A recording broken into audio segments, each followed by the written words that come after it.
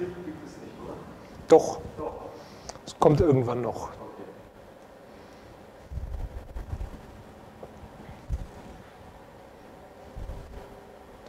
Ähm, Im Skript ist allerdings das erste Kapitel nicht dabei. Das war letzte Woche. Ja, nee, das ist heute auch noch. Ich hoffe, dass ich fertig werde heute damit. Ich bezweifle es. Bezweifle es sehr. Ist eigentlich ausgeschlossen.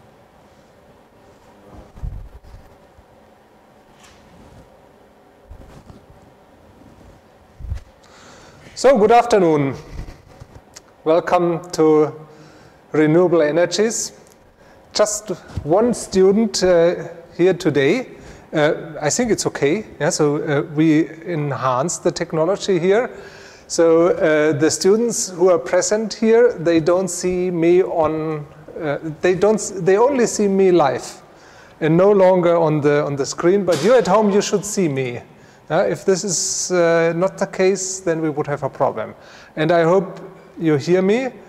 Um, actually, you have the opportunity to use the chat, and actually, there will be a ring uh, tone that reminds me that somebody wrote something in uh, the chat. Alex al- uh, already tried it out, and uh, he asked whether it, the bell was, was ringing, and it did. Don't abuse it, otherwise I have to switch it off. Yeah, so if they are, if they are uh, funny uh, and uh, just senseless uh, chats, then I would have to switch it off. Okay, what did we do last time? Let me give a brief recap. We discussed um, energy terms, energy terminolo- terminology. Namely, the most important were primary energy and then final energy. And we said that final energy, that the concept of final energy is of importance because final energy is very easy to measure. You just need to look up your utility bills or uh, any other bills um, that correspond to, say, um, going to the filling station or, or whatsoever. So, end energy or final energy is easy to measure. More important is primary energy because it kind of measures the footprint, our ecological footprint, at least as long as we subtract the renewable energies. And this can, of course, be done. Now, the question is how to get from one to the other, and I explained that, um, that there are the primary energy factors uh, with, with which this is accomplished. Um, there are different ways to establish these primary energy um, factors, and the one that I discussed um, is uh, called in German Wirkungsgradprinzip, efficiency principle. In English, the um, technical term is physical energy content principle or something like that. Yeah, so doesn't it really make sense to me? But uh, anyway, um, we also discussed that um, that um, a way of calculating it by by um, just determining how many conventional energy renewables substitute.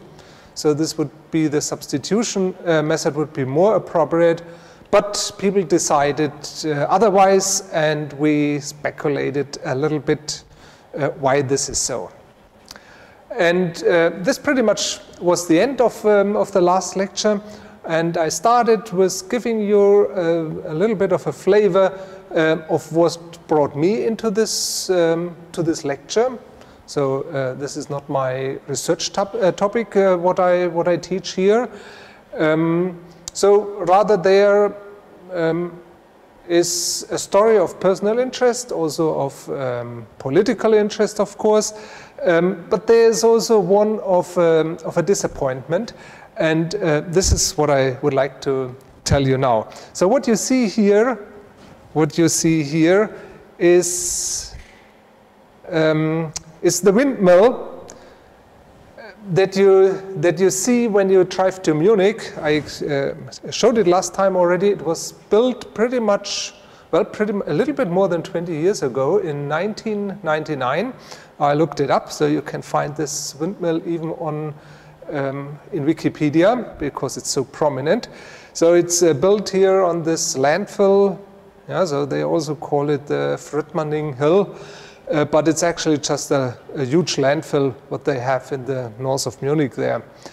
Um, and when I saw it, um, I uh, yeah, so I liked this machine, I have to say, but nevertheless I considered it um, well a helpless cry yeah, because I never believed that it can make any significant contribution to, um, to the energy problems that we have. Um, well, just a fun fact about uh, this windmill. Um, 10 years ago or so, during the Christmas season, they put, uh, they attached LEDs to the, to the rotor blades. And so they had a Christmas star uh, running there for, uh, well, till the end of that year. Well, what I believed actually at that time uh, was that the only way to cope with the CO2 crisis, which I actually knew uh, since my, well, since my, since my teenager time, um, so this was a problem, and we'll come perhaps back to that at some point. So uh, the CO2 problem uh, was, uh, I was very aware of that at that time, and I thought that the only solution uh, would be nuclear energy. Well, we ha didn't have Wikipedia at that time, otherwise I quickly would have looked up uh, and convinced myself uh, to the contrary. So what you see here is the electricity production by nuclear power plants in Germany. And um, what you see is, well, um, that, um, that it's actually not much as compared to the total electricity production in Germany. Yeah, so um, it has never been more than 20%, and it was going down and down. Well, uh, not in absolute numbers, but in, uh, in, uh, in the ratio, uh, because the uh, energy consumption grew. And the same is actually true for the entire world. Yeah, so it was once a little bit more than 10%, uh, and it decreased now to, to much smaller numbers. So it's quite clear um, we would have to build many, many nuclear power plants in order to, in order to save the world with nuclear power. But then consider um, the nuclear waste problem uh, would of course, yeah, so if we expand it by a factor of 10, which would be necessary, um, then also the nuclear waste problem would be a factor of 10 higher. The story went on in the following way. Um, I was appointed as a professor in Texas at Texas A&M University, um, and uh, each month, month I would get uh, the physics magazine Physics Today, and this was in 2005, and I remember very well that I was sitting in my office reading or just, yeah, scanning through, um, through this magazine, and um, I saw this article which really uh, surprised me. Yeah, so in this article, there was a report, a small report on a, on a, on a, sci a scientific paper by these two authors here who mapped out the potential of wind energy in the world, and they came to the conclusion um, that the wind map shows that 13% of all sites considered meet the criterion of being economical, first of all, and that um, there would be, and these um, sites would um, actually cover the world energy needs by, by a factor of seven or so, right? So the details of this study yeah, uh, are controversial. Not everybody agrees, so they may be off by, by a factor of two or three or so. Um, on the other hand, they looked at the problem um, with wind um, mill axis heights of, uh, of 80 meters, and nowadays we are at um, 120 meters or so. Um, so there's a lot, um, yeah, so there's a lot of potential. Yeah? Why was I so surprised? Well, because of this book here, which I bought as a, as a high school student. It was far too difficult for me, uh, I have to say immediately. Um, but I also scanned through this books, uh, book and read the one or other part of it. And um, well, uh, at that time at least, I had um, a very good memory. So I remembered very well what I read in that, uh, in that book. And it's written here in German, uh, but I uh, translate it here. So what it said and what I remembered, uh, and surely, sure enough, I would look it up immediately. So although the exploitation of wind energy can at best cover a few percent of the energy demand of modern industrialized states, there is in fact some interest to use them for local demand. Formerly, they were referred to as windmills, yeah, so these uh, uh, wind power plants. Then it goes on and says the efficiency may be defined as the ratio of the actual power coefficient. We'll come to that, what this means, uh, the power coefficient, to the maximum possible. So we'll derive this maximum uh, possible power coefficient in this lecture. Um, however, this efficiency, uh, the authors say, is of minor significance as wind energy is available in arbitrary amount. The profitability can only be assessed according to the ratio of power to the cost incurred. Well, then, as a high school student, I just accepted that. I didn't think. Yeah, but if you think about it, then you see that, uh, that this is nonsense, what they write. They are um, it is contradictory. Yeah, so the first contradic uh, contradiction is that they say that wind energy is available in arbitrary amounts, but it can only cover a few percent. Yeah? So the other is that efficiency plays no role. Right? This is, of course, also nonsense. The higher the efficiency, um, the more electricity you can produce, at pretty much the same costs usually. Yeah? So usually uh, the technical, uh, technical progress is what drives costs down. Right? And this is a frequent mistake uh, they make.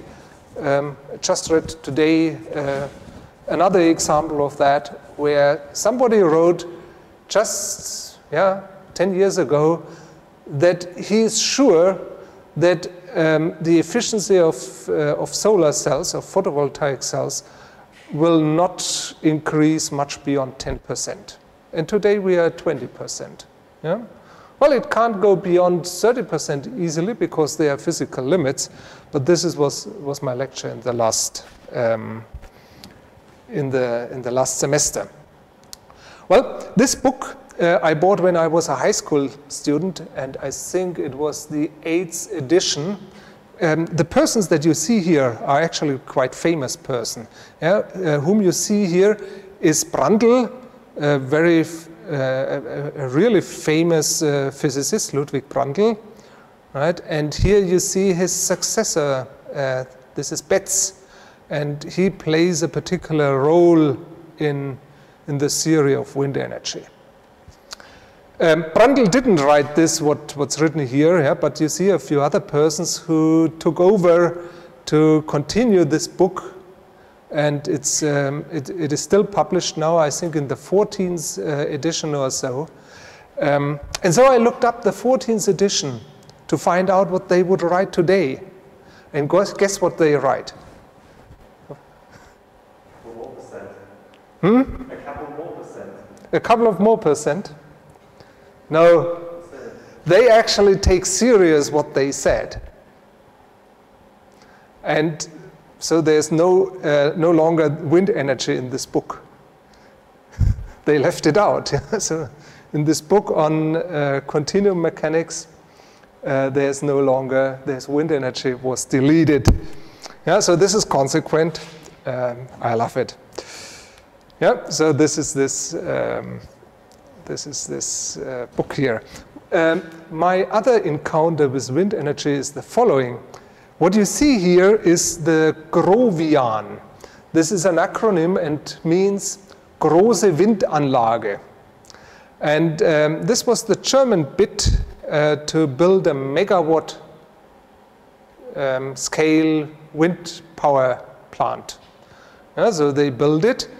And um, I remember well, um, that it was a it was a complete disaster. This windmill, um, I have to say, yeah, it was a complete disaster, and it was switched off soon after the transition from the government of Helmut Schmidt to Helmut Kohl. So in the early 1980s. Yeah, you are, for for you students, this is this is history long ago, but uh, I was a high school student at that time. Um, and one of the first um, actions, uh, one of the first decisions by the Secretary of Research, um, and this was Heinz Riesenhuber, uh, he was a very good Secretary of Research, I have to say. Um, one of his first uh, actions was to shut this windmill down. Yeah? Because uh, it was running, uh, it, most of the time it was broken, right? And uh, so they switched it off. When I looked this up recently, um, I I was intrigued by these two, um, yeah, by these two masts here, and I was wondering uh, what their purpose was. Yeah? Um, yeah, so one said that um, that they would measure the wind, wind speeds, uh, yeah, so that they have wind uh, speed measurement devices on this uh, on this tower. Yeah, makes sense. But why do I need a second one? Right. Uh, well, uh, what they did is that they put um, a net in between in order to prevent the birds from hitting the windmill. Well, and then there I thought, well, it it seems they they build it to make it fail. Yeah? So they took care of problems that uh, that uh, that were that were, were not there. And so here is um, here is a statistics. I took it from the book by David MacKay, Sustainable Energy uh, Without the Hot Air. You can get this book um, as a PDF on uh, on the internet. Well, and there you see um, what kills the birds. Yeah? So windmills uh, in Denmark, yeah, in Denmark they have a lot of windmills, cars, buildings are not uh, even mentioned here, and then you have, uh, yeah, you have uh, the favorite animal also in Germany, right? And buildings uh, kill a similar amount of, of birds. Well, I don't want to say that um, windmills are irrelevant for, for some endangered uh, species. Yeah, so this may well be, and that one needs to take uh, care of that. Um, but in general, uh, this is of course not true. And I'm one week too late. Um, but um, this is uh, this is a um, uh, yeah an anecdote from from uh, one of the presidential debates yeah, and uh, Trump is usually lying about everything. Yeah, so uh, I know more about. Trump said, "I know more about wind than you do. It's extremely expensive, kills all the birds, and is very intermittent. Yeah, so that's the only right thing that, yeah, or fairly right thing." Uh, it's got a lot of problems, and they happen to make the windmills yeah, and this is the worst part for Trump in Germany and in China, which is actually also not true. Yeah, so US they have quite some wind industry. Anyway, so um, well, but now if you look in Wikipedia, the Growian, yeah, then you read actually, then you read actually that it was that it's true that they built it to fail. Yeah?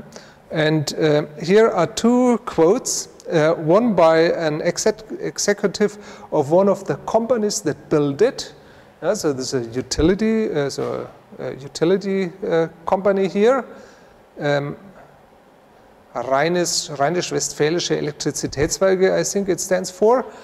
And, um, and he had to justify himself why uh, his company financed uh, building the Growian.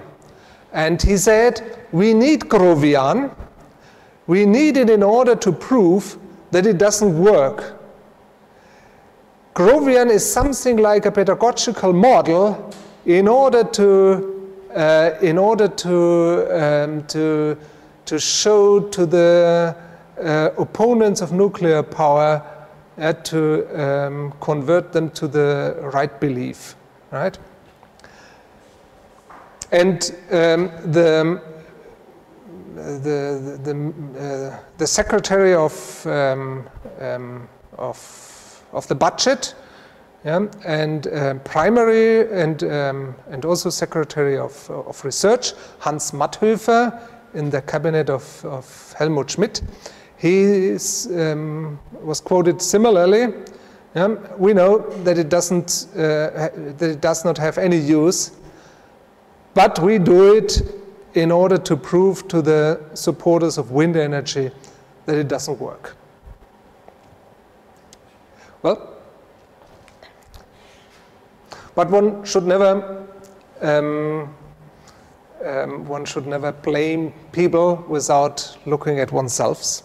So this is actually a study by the German Physical Society, and um, in 2011 they also state that the potential of wind energy is more or less exhausted. And yeah, attend this lecture, and perhaps afterwards you are able to have your own um, opinion on that. Well, uh, the other thing that surprised me um, was um, how much photovoltaics, uh, so how quickly photovoltaics be, uh, became competitive.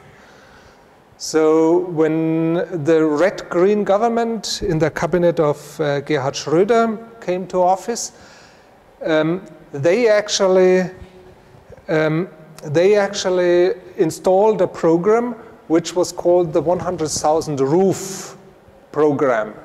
So um, people could um, could buy um, a photovoltaics um, plant, uh, put them on their roof, and they would get as much as 53 or so euro cent per kilowatt hour.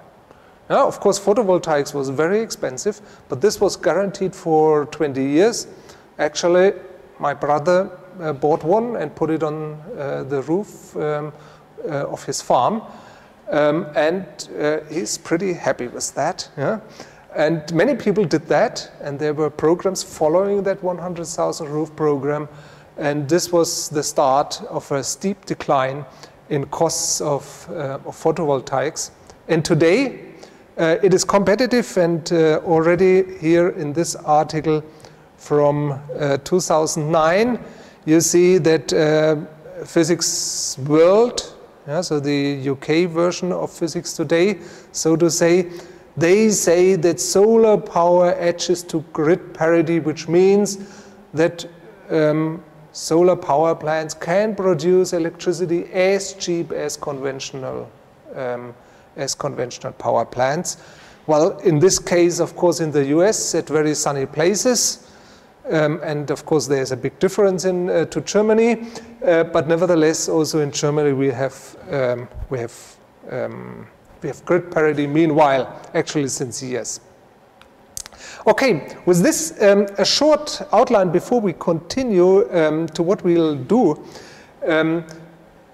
We'll continue with chapter one and um, say a few more statistical and, and other things uh, that are necessary or that are at least useful for background information. Um, but then we'll do real physics, yeah? not just economy and, um, yeah, and things of lesser interest. Um, but uh, we want to do real physics and uh, the first thing would be that we look at the basic principles of the energy balance of planets. So the idea is kind of to calculate the surface temperature of Earth with very simple um, arguments, uh, very simple concepts. It's a very rough model, I have to admit.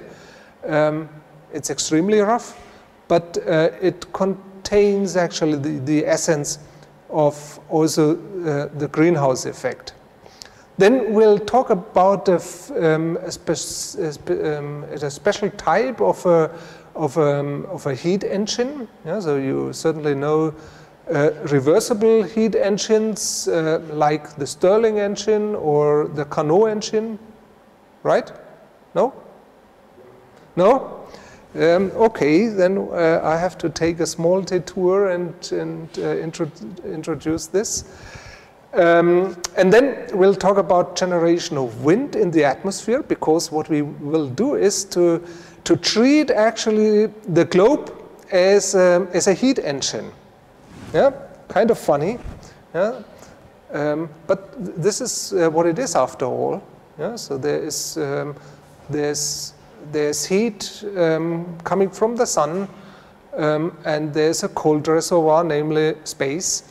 And uh, in this way, one can approximate um, the atmosphere as a heat engine. And then uh, we'll uh, treat the theory of ideal wind turbines. This is exactly the theory that Betz, whom I just mentioned, um, introduced. Yeah? And we'll do this in some detail. We'll also uh, consider the losses that a windmill um, suffers. Right? So you can't, you can't uh, convert the entire kinetic energy um, of, uh, of wind into mechanical energy and thus into electricity. Um, this comes out even for an ideal wind turbine that you can use only two thirds about. Yeah? 16 over 27 to, uh, to be precise. Yeah, we can calculate that analytically, but we can do more. We can actually calculate the shape of the blades um, of these windmills, and we can even do we can even do more. Namely, we can calculate which fraction of the ideal windmill is in fact possible. Yeah? And we'll find that less than 50% of the kinetic energy of wind can actually be converted into, into electricity. And then if you look at real windmills, if you look at, the at, their, at their specs, then you find that we are, yeah, that we are um, pretty much exactly at, at, this number within a few percent or so. Yeah, so quite remarkable. So you will have a, a good understanding of a windmill um, after, this, after this lecture. And a few other things, I hope. So teaching assistants you uh, know already. Um, this is Martin Bayer. Um, uh, Yun Yu Chang, this is not true. So this is uh, something left over from, from last time. Um, grading, I don't know yet. Yeah, so uh, one uh, student asked me via email. I'm sorry that I didn't uh, respond, but I I answer the question here. Um, I'm not sure how to do it um, because we don't have teaching assistants um, uh, this semester because of the corona crisis, um, strangely enough. Um, and um, so probably there will be just a final. Yeah? So you would turn in, well, you don't need to turn in the homework, but uh, I can only encourage you to do the homework because uh, the problems on the final will be at least by 50% homework problems. Yeah? And another 25% will be close to homework problems, and then there's another 25% that we invent freshly or we use earlier uh, homework problems from previous uh, semesters a few books that, um, that are interesting, and some of them I use actually. So, uh, of course, I use this book here by uh, Gasch and Twele, Wind Power Plants. Yeah? And uh, yeah, so when I learned uh, the subject or this material for the first time, I was really, uh, yeah, so I, I was really delighted because uh, the theory of, of windmills at least in my opinion, opinion is so beautiful. Um, then I learned a, a, few things from this, uh, from this book here. I'm uh, currently reading uh, this book here. Well, this is not a physics book, I would say. Yeah, so if you read it, yeah, it's a little bit strange for a physicist that somebody would mention here Excel um, um, functions in a book and calculate something with Excel functions for example, the slope of some, um, of some line. Um, but anyway, it's, uh, it's interesting, and I'll show um, one example from this book today. And, um, well, um, more detailed, much more detailed information than I'll cover on the um, climate uh, problem is actually covered in this book. I think we should open the window for, for two minutes or so, because we should do this every 20 minutes or so. I can also open this one here. Yeah.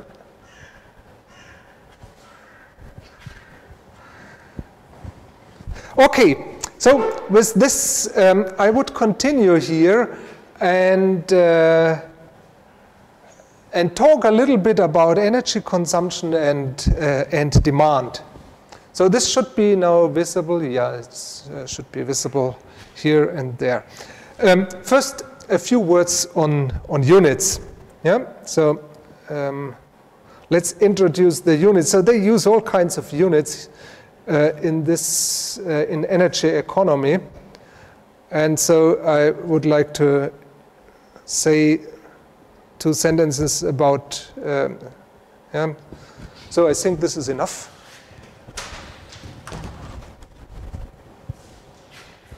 Yeah, so airing a room is a good idea in the corona crisis. So uh, I did a little bit of uh, physics exercises on that last weekend. Um, and uh, yeah, so it's also interesting actually. So um, the unit I will use preferentially is actually the kilowatt hour. The kilowatt hour because it's so familiar to us. Um, so kilowatt hours is how we actually um, yeah, so for the man on the street, for the private user, for the private consumer, the kilowatt hour is an appropriate unit. If you take a joule, yeah, then a joule uh, is, is very, very small.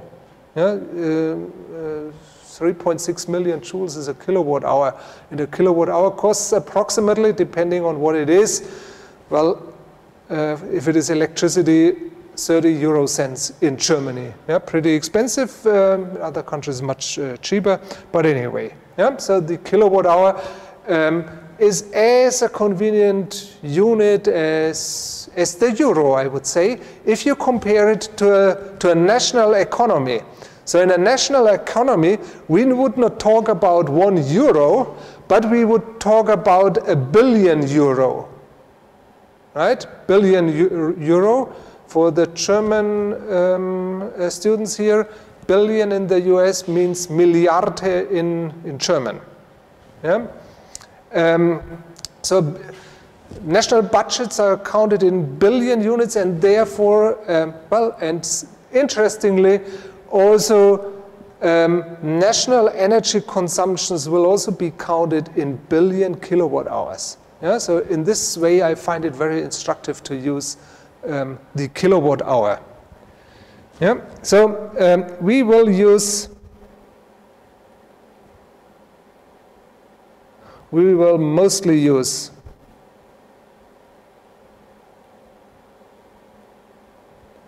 um, the kilowatt hour um, as a unit. Yeah, because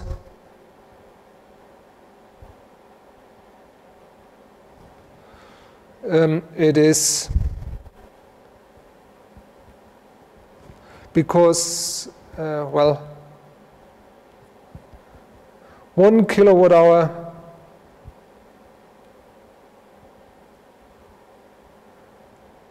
is um, as appropriate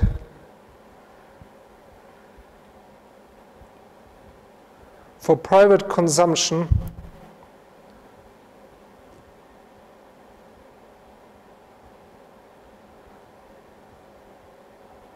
um, is, is one euro. Yeah? Um, and similarly,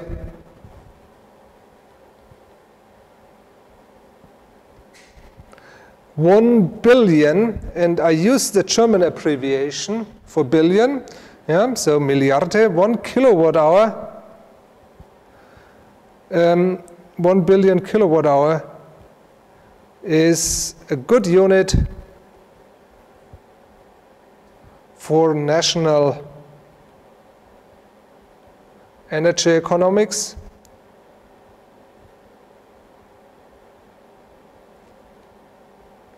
Yeah. Um, analogously,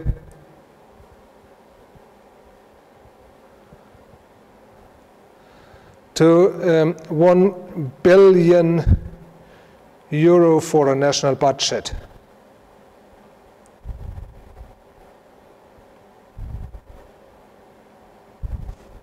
Yeah, um, to give you an example, um, the national budget of Germany, um, yeah, so national budget of Germany is approximately 350 billion euros. Yeah, so this is only the federal budget. Of course, there are also the states and so on, so it's probably a thousand uh, billions or so. Yeah? Um, if you contrast this to the primary energy consumption, so the primary energy consumption of Germany is roughly 4,000 billion kilowatt hours. Yeah, so 4,400 billion kilowatt hours. Yeah, and if you prefer um, conventional physics units, yeah, so then it is of course clear that a billion kilowatt hour is equal to one terawatt hour. If you look into statistics by various organizations, then they use a whole bunch of different units. And um, well, um, I mentioned two of them, other units. Uh, so uh, you can, of course, use um, the joule, and then you would use usually the petajoule, and this would be, uh, this is 0.277 billion kilowatt hours. Or you can use the megaton of oil equivalent. Yeah? And then if you look up the higher heating value, so the Brennwert of, uh, of oil, um, then you find that you get uh, 11.63 billion kilowatt hours. So you see they also uh, use uh, units that are kind of convenient so that you have numbers in the yeah in um, numbers that, that, that are somehow um, handy. Yeah? Okay, well, let's compare this to the primary energy consumption of the entire world. So um, the current primary energy consumption of the world is estimated to, to be roughly 1.6 times 10 to the 5, well, in this units, billion kilowatt hours. Yeah? And I have here two slides showing that. Two slides showing that. Um, so here you see um, the, um, the primary energy consumption, the global primary energy consumption um, over 200 years. Yeah? And you see that in the first 100 years or so, not much happened. And it was pre pretty much more or less wood what was burned, right? Traditional biomass. This is where this is how people uh, got their energy. And then, um, um, starting in England actually, uh, the use of coal started, um, having a lot, of, a lot to do uh, with the invention or with the improvement rather of the, of the steam engine, right? And then in the 20th century, um, oil took over, and actually coal is starting to, to decrease. um, which is actually nicely described in this book uh, on energy economy that, that I just presented. Uh, very interesting to read. Um, then we have natural gas, which um, gets dominant or seems to get dominant now. Right? There's a little bit of nuclear. Right? So here you see how much nuclear contributes. And if somebody tells you that nuclear would be the solution, then just show him this here, right?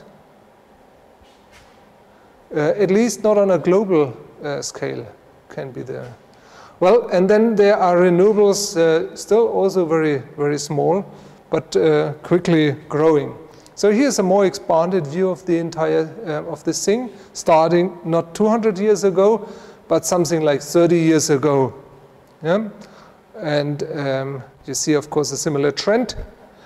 Um, yeah, um, nuclear 4% here. So they use other colors here, right? Here, red is natural gas.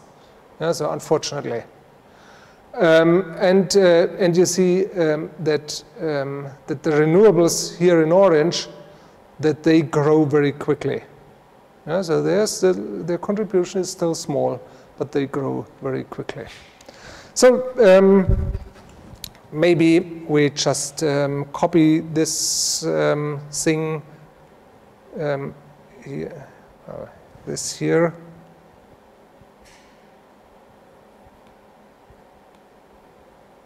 Doesn't work. Ah, yeah. So this thing here.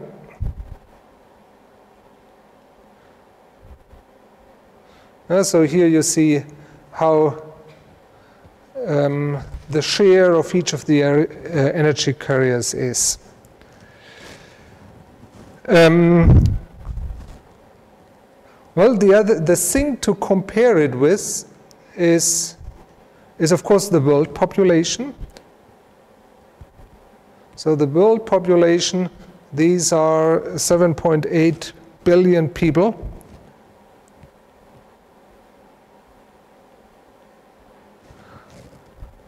And from this we can calculate the average. The average doesn't mean much, of course, yeah, because some use a lot of energy and others almost nothing. Um, there's no justice, of course. Ah, yeah. I have to show this. Nobody complained via the via the chat so far. Um, so 20,000 kilowatt hours per person per capita. Yeah?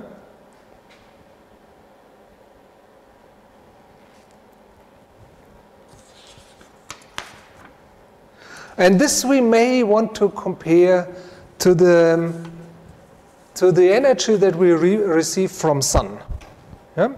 So um, let's just see how much energy we get from sun. So comparison to the total radiation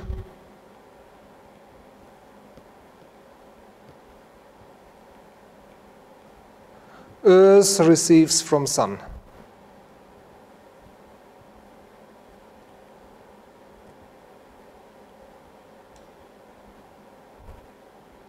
Yeah? And for this we use the so-called solar constant. Everybody should know that, at least after you have attended this course. And I mention this because in quite a few exams, um, people, strangely enough, don't know that. Yeah? Uh, I think it's, yeah, so even without uh, attending this course, one should know that. So the solar constant which is the energy flux density, so the energy flux, the power per square meter. The solar constant um, outside the atmosphere is 1367 watts per square meter. Yeah? Then we have um, uh, then not everything goes through the um, through the atmosphere, and um, a part is reflected, so it's not absorbed by the Earth. Yeah? Um, and this you can take into account by the so-called albedo. This is the kind of reflectivity uh, of Earth, and it is pretty exactly 30%, um, which means that 950 watts per square meter are absorbed by Earth. Well, of course, just the projected area of the Earth, right? So let's calculate the projected area, projected surface of Earth. Yeah, the Earth is a disk, as everybody knows. We use this here again. Well, I have to be careful with saying such things. We are on YouTube, and certainly some people will discover that. Um, but anyway, um, we calculate that um, Earth's radius is uh, 6,000 kilometers approximately, and then we get 1.13 times 10 to the 14 square meters. Yeah? And what we then get is a power absorbed by the Earth, which is 1 point, uh, pretty much 1.0 times 10 to the 17 watts, right? And this is a factor of almost 10,000, more precisely a factor of 6,000 larger than the primary energy consumption of the world. Yeah? This is a factor of 6,000 larger than the primary energy consumption, the global primary energy consumption.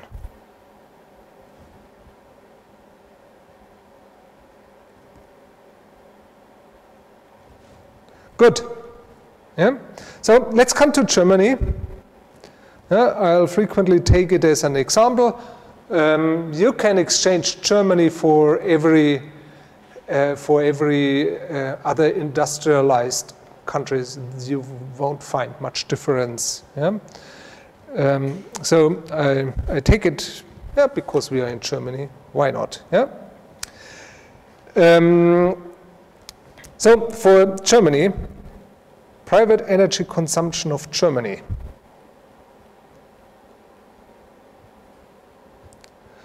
Um, and this is currently um, this is currently actually 3,560 uh, billion kilowatt hours. Yeah, I wrote a different number um, just a few minutes ago. Um, this is the this is actually the the present number, and it it is down from from roughly 40, uh, uh, uh, 4,000 uh, kilowatt hours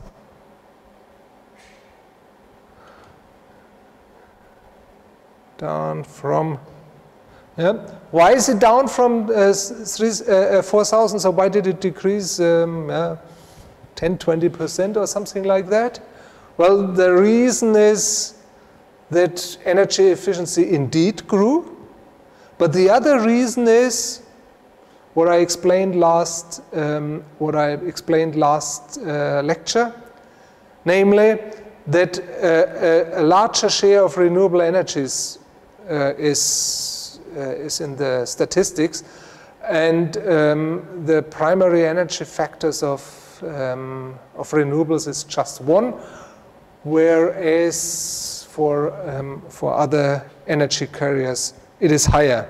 For example, if you replace nuclear, then each kilowatt hour goes in there with a factor with three kilowatt hours. Um, yeah, so, uh, and this uh, also becomes apparent if we look at the final energy consumption because this didn't decrease a lot. Yeah, so the final energy consumption did not decrease a lot. It decreased a little bit.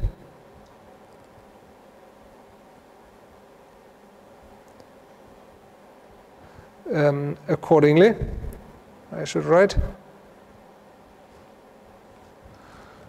Yeah. So what we see is largely an effect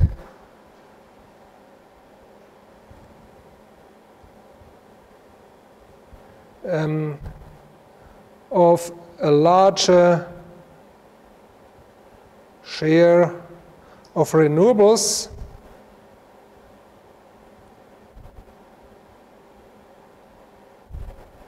together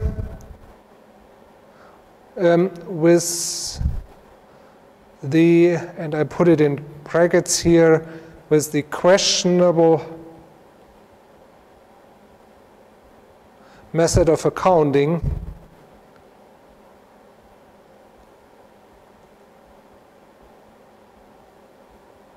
um, using the efficiency method or the precise term is physical energy content method. Yeah? So using the physical energy content method.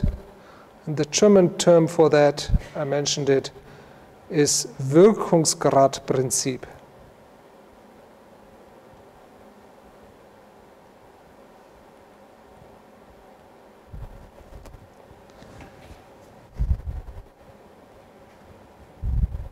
Yeah. So if you look on what are the important sources, then you find that's, well, a third is oil, a quarter is natural gas. So there's a question, I suppose, when talking about the consumption of X kilowatt hours. Oh, yeah. Yes, uh, there's a question by Jonathan uh, Bollig, and he asked, I suppose, when talking about the consumption of so and so much kilowatt hours, the time scale is a, is a year. That's correct. Yeah, thank you for that question. I should have, uh, I should have said that, or, uh, of course. Um, yeah. So once again, um, worldwide, coal is a quarter, natural gas is a quarter, oil is a third or so, nuclear just 4%, uh, renewables also just 4%, and hydro a little bit. Yeah? In Germany, things are pretty much the same um, with uh, yeah, a few modifications. Yeah? Oil is a third, natural gas is a quarter about, coal is a little bit less than a quarter. Um, there's 6% nuclear, yeah, so we still have, or well, this year it's probably changes probably. Um, and there is 13% renewables, whereas worldwide it's just 4%. Yes, so uh, not so um, so different. Another aspect that's important if we talk about the primary energy consumption and the challenges to the world is, of course, the development of the population of, um, um, of the globe. Because if population um, increases, then sooner or later also the, uh, the primary energy consumption increases. So, um, and this would be the final remark here in this subchapter. So the development of population numbers.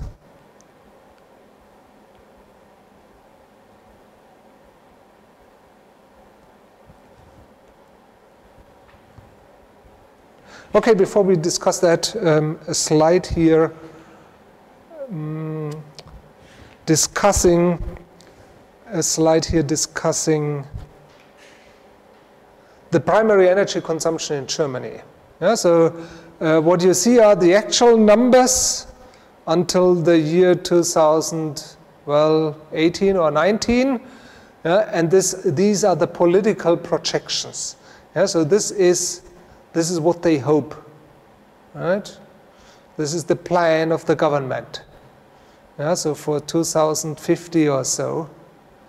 Um, and what uh, the rest what you see is just what I what we discussed. Yeah? Um, we also discussed this already. Um, it is clear that depending on where you are, the energy consumption per person, and of course also per year, is vastly different from country to country. Um, so what you see with this green curve, yeah, so this is North America, so uh, the US and Canada basically. Um, Germany is, I think, is this curve here, or Europe. Yeah, so this is Europe here. Yeah, so we use approximately half of that. We'll have another curve for that. Yeah, Middle East grows up like this. This here is interesting, isn't it? Yeah, so this is this is the total Commonwealth of Independent States. What is this? The Commonwealth of Independent States. Hmm? No, it's not the British Empire. This is the former Soviet uh, Union here. Yeah? And uh, now you understand this curve, right? What happens in the 90s. Also, they went so down. Okay, and uh, the red curve is total Africa. Yeah? Okay, I mentioned this already. Yeah, so you can also put this in nice numbers. Yeah, so you can ask yourself, yeah, so what is the average power that we have running in Germany? Yeah, so this is uh, 460 gigawatts. Then you can calculate the average power per capita. Yeah, so the average power for each of us. And this is something like 5.5 kilowatts per person, which means that about seven, eight horses are working for each of us day and night. Yeah, so with this you can imagine how much energy we are using. And if you, um, if you sum that up over a year, uh, no, uh, if you sum that up over a day, then we spend each day approximately 130 um, kilowatt hours. And this here is a comparison to the US. Yeah, they need approximately twice as much, um, which was uh, actually also apparent already from the previous, um, from the previous, from one of the previous slides. But the US are very different actually from Germany, which you can see at this, at the development of the population. Yeah, on the um, on the right-hand side, you see um, the development of German population. Yeah, so we are currently at um, well um, a little bit more than uh, 80 million. Well, whereas in the U.S. you have uh, um, well a steep increase uh, still. Um, so the both economies uh, work entirely different um, economic growth and so on and so forth. So, and here is the slide that I wanted to show uh, here concerning the world population forecasts. And it depends, of course, a lot on where uh, we are. Right? In Europe, it tends to go down. Um, in, uh, in Africa, in, uh, where is Africa? Yeah, so in Africa, it uh, increases, of course. And um, worldwide, it looks like that. Yeah? And um, the expectation is that it saturates somewhere at 11, 12 billion people. And actually, uh, the most convincing, um, well, data and kind of theory um, I saw in this book uh, that I mentioned, yeah, so energy supply and demand, where um, they choose actually a, a, remarkable way to plot it. Yeah, so the, here, uh, the annual growth rate is plotted. The annual growth rate of the population is plotted, and you see that it goes down, but it's plotted against the population in billions. Yeah? So um, And uh, what one sees is that there is a, well, more or less linear uh, dependence. And now if you extrapolate, then you come indeed to the, um, to the 12 billion people. And they use this kind of analysis for also other problems. So, uh, for example, for the forecast on how long our coal reservoirs would last. And the predictions are, are pretty precise. Um, unless there would uh, be some, well, technological breakthrough um, that we saw, for example, for, for natural gas, then of course um, such models uh, fail. Okay, anyway, let's quickly write that down. Um, this way. Yeah, so let's uh, quickly write that down.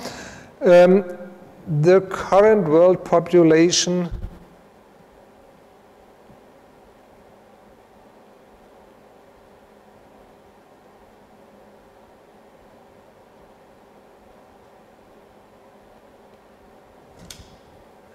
is 7.8 billion people. And it is expected, and hopefully this is, will become true, that it will saturate.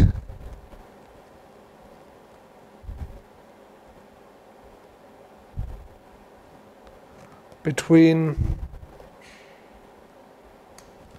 11 and 12 billion people. So, with this, I come to the, to the next chapter, namely to the so called energy sectors and the Sankey diagrams. Yeah? But before we do that, we quickly open the window for two minutes or so.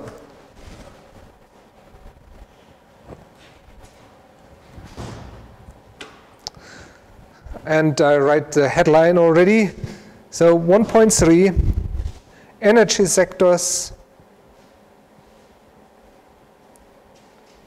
And I largely discussed this at the example of Germany and Sankey diagrams. It's cold outside, isn't it?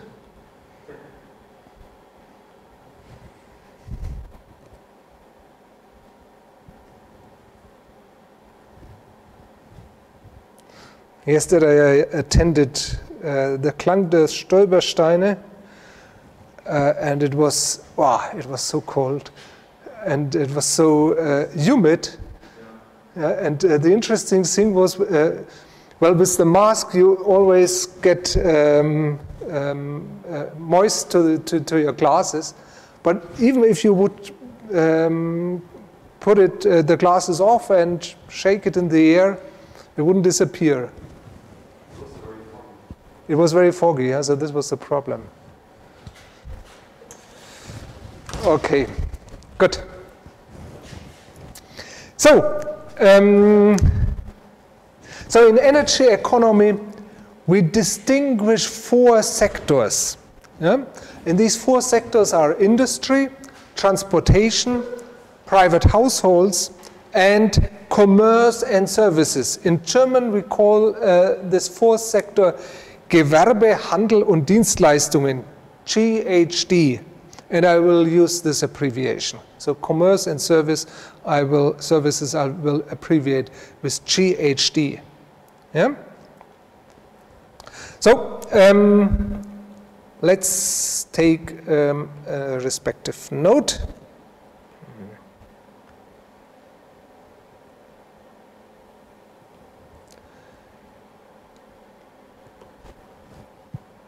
So in energy economy, we distinguish four sectors, namely industry, private households,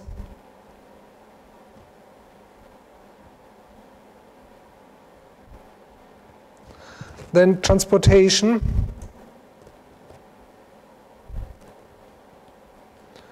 and commerce and services.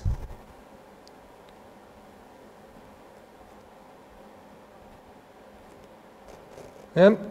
GHD standing for Gewerbe, Handel und Dienstleistungen.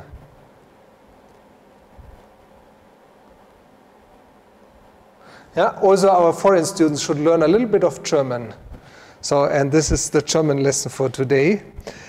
Um, in Germany, each of these sectors has, has um, well, a roughly, a very roughly equal share in primary energy consumption. And I have a graph for this. So where is it? It's this one here. Yeah. So what you see here is industry. Yeah, so I said approximately a quarter. Well, it's more a third or so. Then transportation, yeah, not quite, a little bit less than a quarter.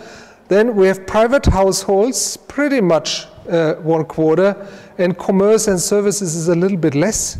And then we have this here, which is non-energetic use and um, export. Yeah, so Germany still exports um, energy, for example, wind energy. Yeah. Um, so, um, but just to remember it, so each of these sectors um, use approximately, very approximately, uh, one quarter of the total primary energy consumption. Yeah? And of course, if you ask now um, what are the energy sources for each of these sectors, then there are, of course, huge differences. And for this, um, I have a slide. Yeah. So here you see a very busy slide, actually. Yeah. Um, so you see the total, um, the total picture here, similar to what um, what I drew up here.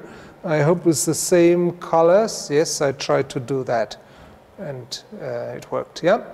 Um, and now you have the four sectors here. This is transportation, yeah? and even so, the uh, the um, letters are much too small in order to be readable. Here, you uh, you know, of course, what this here means. Yeah? Um, if this can only be oil, so the transportation runs on oil. It uses oil and oil and nothing, uh, uh, almost nothing else. But we can look uh, at it um, in more detail. Yeah? So here you see it. Yeah, so there's a little bit electricity for railway and so on. There's also a little bit of gas for some cars and so on and so forth. Now let's go to industry. Industry uses a lot of energy in order to um, to produce mechanical work. Yeah? Um, and to this end, yeah, they use a lot of electricity. Yeah? So this drives the motors and so on and so forth. But they also need to heat their, um, their um, uh, plant halls yeah, or process heat and, what, um, and, and all these things. Yeah? So uh, next, um, GHD, commerce and services. Yeah?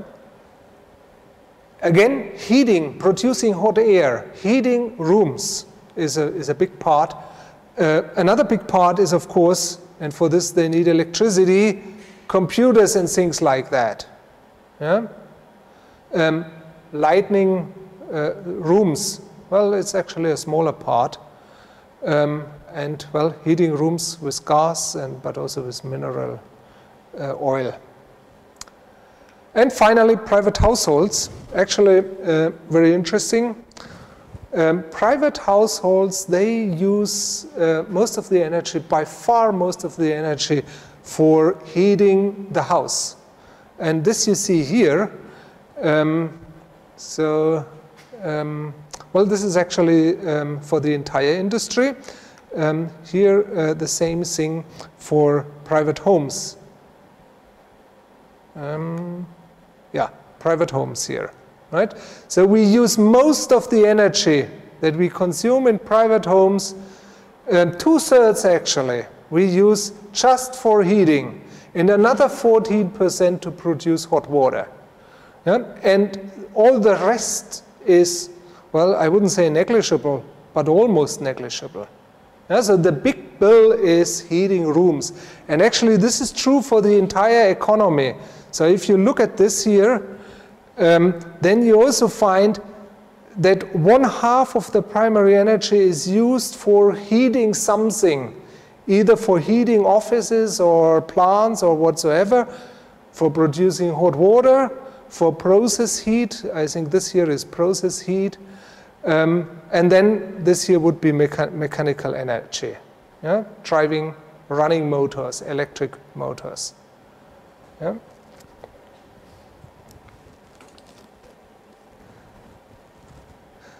Okay, let's write that up. Yeah, so this is actually an important lesson. Um, when you want to discuss energy issues with colleagues or with um, people uh, who have no idea of, uh, of physics, uh, then it's always important to know what are the important parts of the energy economy. Right?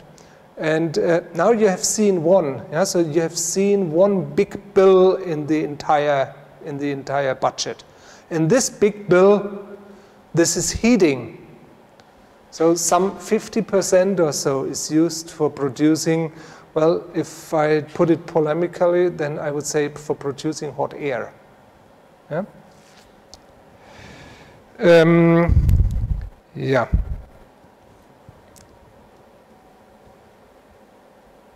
Okay, we have to. Another question is here arriving. Black screen for classroom stream. Yeah. Um, iPad. This way, right?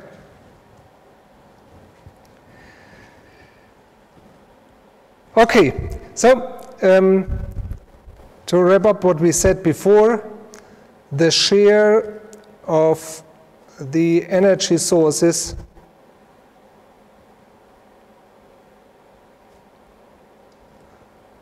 differ a lot between sectors, between energy sectors.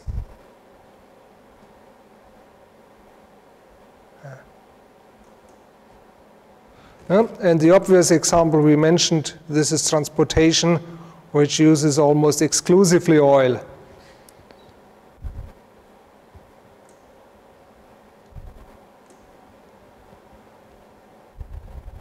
But of course, yeah, also heating, um, so if you know that most of the energy in private uh, households is actually used for heating, then you know that there are two things, oil, which is decreasing, and natural gas. Yeah? And hopefully renewables uh, in the future, um, but uh, actually not uh, a lot so far. Okay, the um, other important message that we had, more than 50% of the final energy consumption is used to produce heat.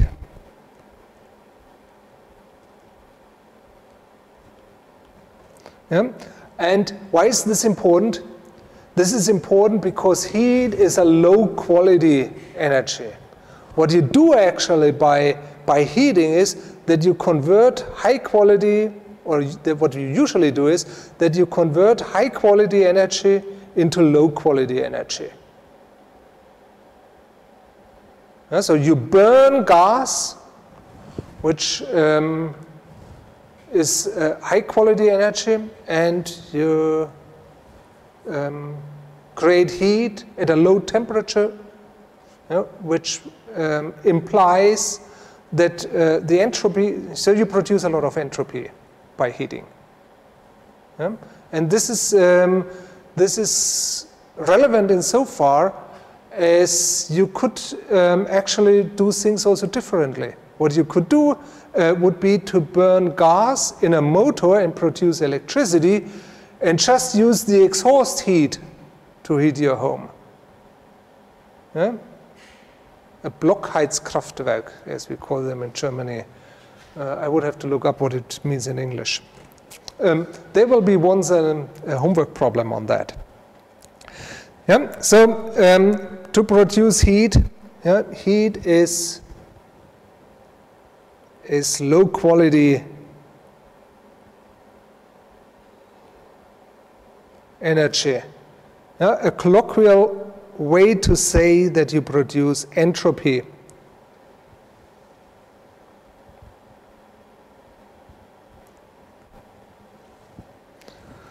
Yeah, and um, the numbers are 30% for space heating,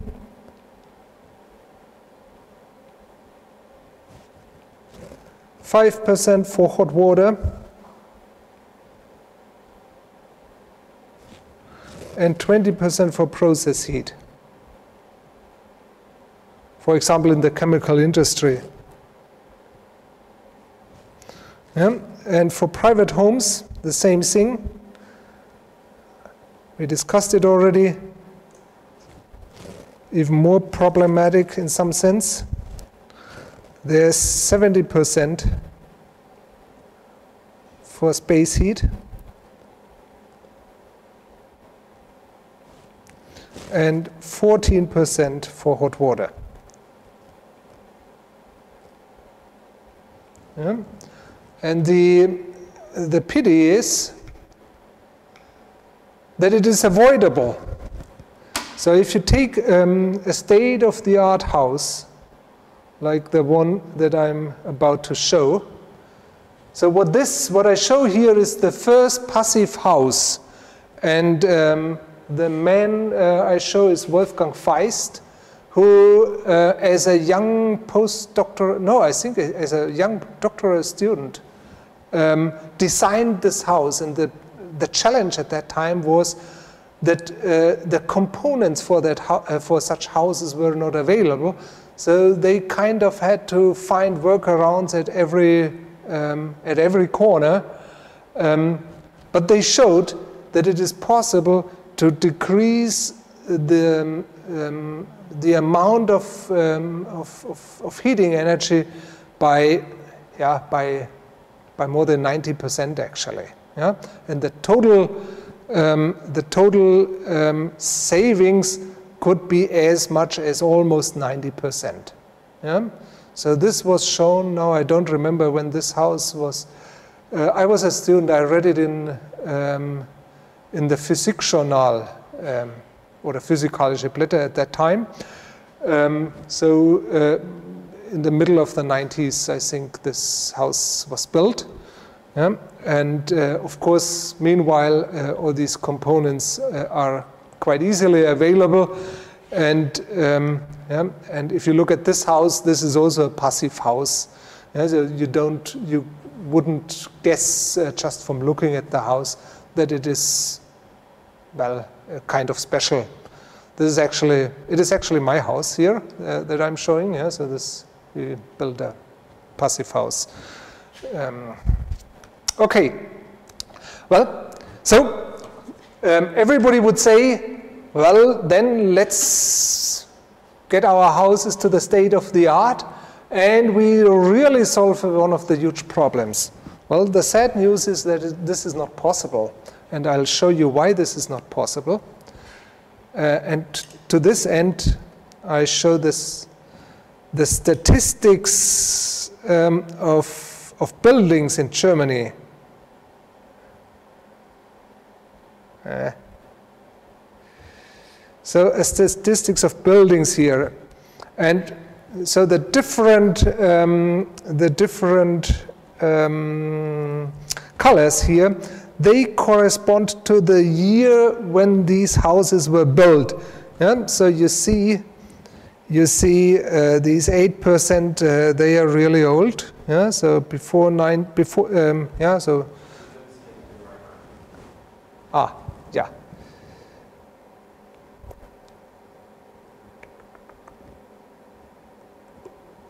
So this one here. Yep. So once again, this is the statistics of buildings in Germany. And you find uh, that, I think it goes like this, yeah. Uh, you find that 13% are actually older than 100 years. Yeah? And it is not easily possible to bring these houses to the state of the art.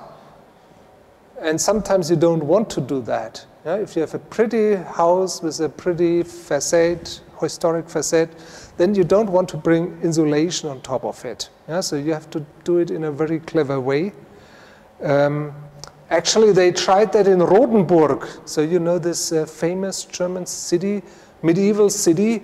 They tried uh, to, to insulate these houses, well, of course, not from outside, because then the pretty city would have been gone. So this tourist place would have lost um, much of its, um, of its attraction. So they put the insulation inside. But they didn't know how to do it properly in the 70s. It was after the oil crisis that they tried to do that. And so they had condensing water, which destroyed these houses um, yeah, or damaged them. And they had to to find other solutions. But nowadays, uh, this problem is solved, but it's still expensive. Yeah? So then we have another 12% of houses built between the two wars, basically. And then we have a major share of houses here, 38% um, that were built, well, pretty much before the oil crisis, and they were built accordingly. Yeah, so they were built with cheap oil in mind. And uh, this is a huge problem. Yeah? So even if you would have all the money of the world, it would not be possible to solve this problem in a timely manner. Why? Because we, do, uh, we don't even have enough workforce and enough companies in order to do that. Yeah? So what has been built in the course of generations can't be fixed in the course of a few years. Yeah, this must be entirely clear. Yeah, so there are some things um, where I just have to say, well, you can only try to deal with the problem. To well, if you need to heat these homes, and if you need to convert high quality energy and low quality energy, then what you could at least do is to heat these houses and at the same time produce electricity yeah, by not just stupidly burn the gas, but by running a motor with an efficiency of say 25% or 30% electrical efficiency and use the exhaust to heat the home. And then the total efficiency is close to 100% and you have used the potential of these high quality um, um, energy carriers to produce high quality energy in the form of electricity. Okay, there's another thing that I would like to quickly discuss, and this is the so-called rebound effect. Yeah? So what we were starting to discuss here is that we try to increase the efficiency and hope that the um, that energy that primary energy consumption goes down. Well, um, a slide uh, for that. Yeah. So whom you see here is William Stanley Jevons, or Jevons, yeah, um, um, an English yeah, uh, theorist. And he discovered, he discovered that the increase in efficiency for the steam engines in his age, right, in his area, um, that the, the increase in efficiency of steam engines didn't result in lower consumption of coal, but quite in the contrary, it increased the consumption of coal. Yeah? And this is called Jevons paradox um, or the rebound effect.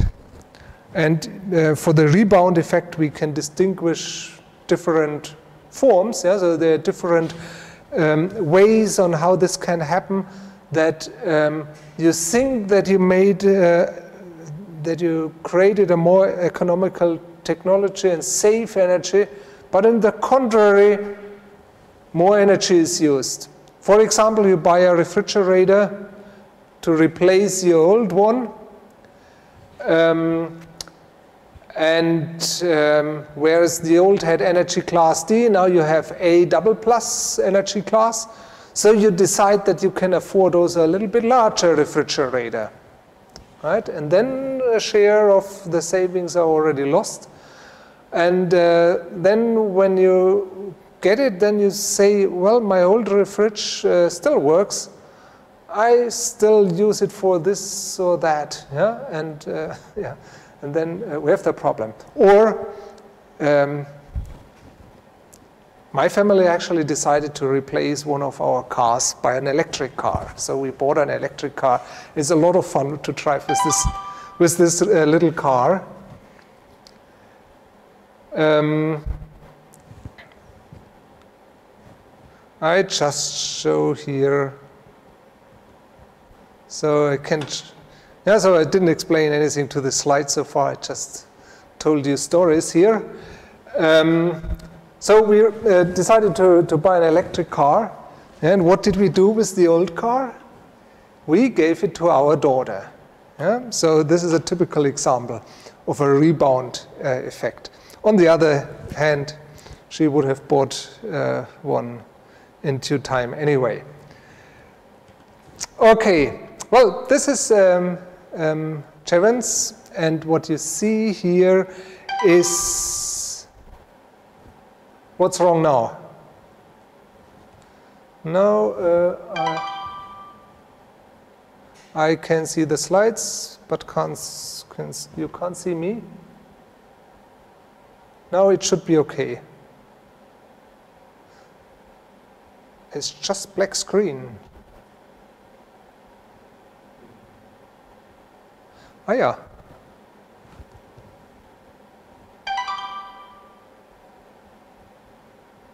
So the camera, the camera is, let's see.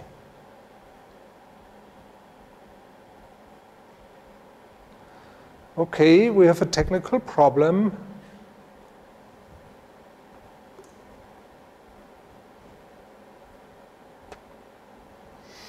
Hmm. Hmm. Let me look.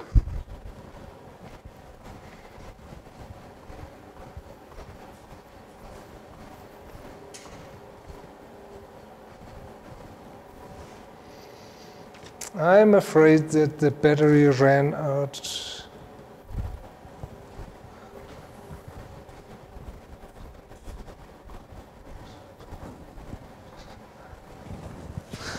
Somebody unplugged the cameras and now the batteries are out of power.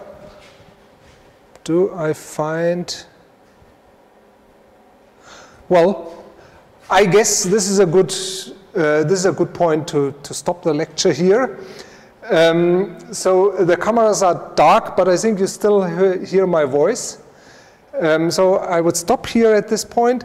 Um, I was asked whether there is a script available. Whether there's a Ah, yeah, energy shortage in the lecture about renewable energy. Yeah, so this makes sense, right? Um, thank you for this comment. uh, anyway, so um, we stop here at this point. Um, there, um, I have a script, but this starts only at chapter two. We need to finish up uh, chapter one next time. Um, I would also like to encourage you to, um, to come. Yeah, so today there's just one student uh, attending.